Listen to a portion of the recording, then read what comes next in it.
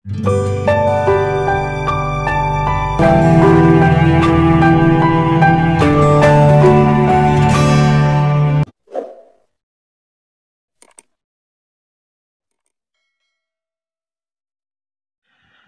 teman-teman sekalian, berjumpa kembali dengan saya Arif Kule di channel TV Laskar Kristus ini. Kali ini teman-teman sekalian, kita akan membedah kembali apa yang pernah disampaikan oleh uh, beberapa ustadz yang berkata bahwasannya kita tidak boleh bergaul dengan orang-orang kafir.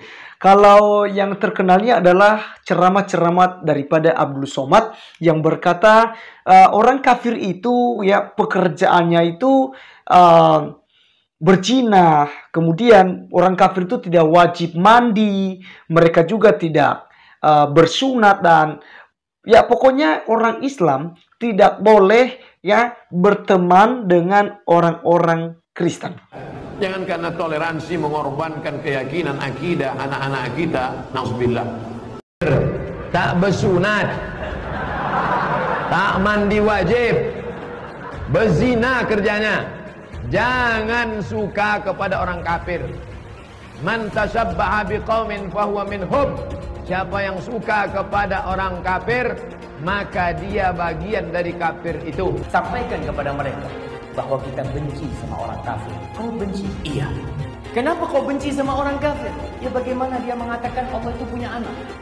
Dia mengatakan Allah itu banyak lah, anak benci. Oh, ini orang kafir. Bahkan teman-teman sekalian juga ada beberapa ustadz yang jenggotnya panjang-panjang ke bawah teman-teman sekalian ya.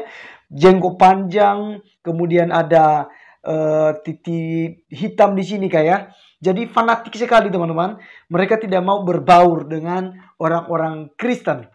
Jadi dari ajaran-ajaran tersebutlah banyak sekali yang kemudian uh, memberikan komentar-komentar. Kenapa? Karena kalau uh, ajaran semacam itu ha, di, di, dibuat di Indonesia, tentu saja teman-teman kita saling bermusuh-musuhan ya. Jadi itu akan memicu sebuah um, kerenggangan dalam sosial ya, di mana orang Kristen tidak bisa uh, berkenalan dengan orang Islam, orang Islam juga tidak bisa berkenalan dengan orang Kristen. Jadi sendiri-sendiri teman-teman sekalian. Main bola kafir, boleh nggak? Nggak boleh. Dipajang fotonya, kaosnya nggak boleh. Dia mencintai orang kafir, loyal kepada orang kafir, membela orang kafir. Berarti kalau sudah membela orang kafir, dia masuk orang beriman atau bukan? Bukan. Masuk kepada golongan apa? Munafik. Oh. Padahal di Indonesia ini diakui ada enam agama dan seharusnya kita saling menghargai satu sama lainnya tanpa kita harus uh, menjauhi gitu karena dia tidak satu agama dengan kita. Tetapi teman-teman sekalian, otak daripada Abdul Somad dan sejenisnya ya kawan-kawannya itu memang semacam itu. Artinya mereka tidak suka jika ada orang Kristen yang bergaul dengan orang-orang Islam. Demikian juga sebaliknya, orang Islam bergaul dengan orang-orang Kristen. Nah, yang lucunya di sini yang akan kita bahas adalah ada satu ya kiai, kiai yang justru di um, Maulid Nabi ya pada beberapa waktu yang lalu teman-teman sekalian dan di situ oh, dia undang para uskup ya, beberapa uskup dan juga romo yang ada di sana. Ini pemimpin-pemimpin gereja Katolik teman-teman sekalian. Dan yang lebih istimewanya di situ ada satu perempuan cantik yang menari teman-teman sekalian. Dia menari dengan cara yang luar biasa sekali sambil mengikuti irama sebuah lagu yang dinyanyikan uh, oleh uh, orang-orang Kristen di situ ya, Kristen Katolik, yaitu uh, dengan lagu hidup ini adalah kesempatan. Jadi teman-teman sekalian sangat menarik sekali. Di situ sebenarnya poin penting bahwa kalimat-kalimat yang terkandung di dalam lagu itu di mana dikatakan hidup ini adalah kesempatan ya untuk melayani Tuhan. Bila saatnya nanti ya ku tak berdaya lagi hidup ini sudah menjadi berkat. Karena inilah yang harus kita lakukan. Dan ini bukan sebuah lagu saja teman-teman. Ini sebuah firman Tuhan yang menerangkan bahwasanya selagi ada waktu mari kita melayani Tuhan. Sebab tujuan kita ada di muka bumi ini yaitu untuk melayani Tuhan, untuk melakukan apa yang baik sesuai dengan hukum Tuhan. Ada 10 hukum Taurat yang sudah diberikan buat manusia. Mari kita hidup seperti itu. Apalagi Yesus sudah menyimpulkan ya sebuah hukum Taurat itu yang ke-10 hukum Taurat itu dengan Kasihilah Tuhan Allahmu dengan segenap hatimu, akal budimu ya. Dan sesama itu yang setara dengan itu adalah kasihilah sesamamu manusia seperti dirimu sendiri. Tidak seperti yang diajarkan oleh Abdul Somad dan kawan-kawan yang justru tidak mau bergaul, yang justru menolak orang bergaul dengan mereka hanya karena berbeda agama.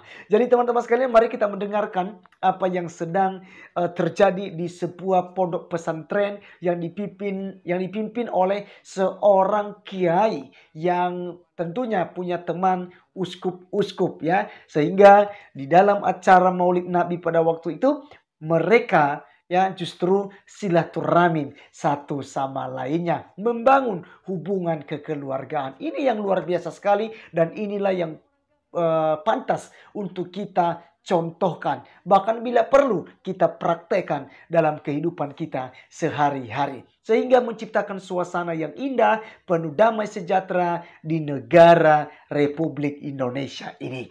Mari teman-teman sekalian kita langsung saja melihat videonya. Saya diberkati dan saya rindu supaya teman-teman juga diberkati melalui lagu ini dan juga sebuah tarian yang dibawakan oleh seorang muslimah cantik.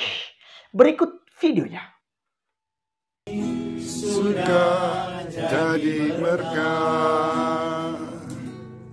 Hidup ini adalah kesempatan. Hidup ini untuk melayani Devita menari sebagai persembahan untuk Bapak Oskup dan Kiai Budi dan para romo di sini. Pada hari raya Idul Fitri 1 Sawal 1440 Hijriah di Pondok Pesantren Al Islam di rumah kediaman sahabatku Kiai Budi.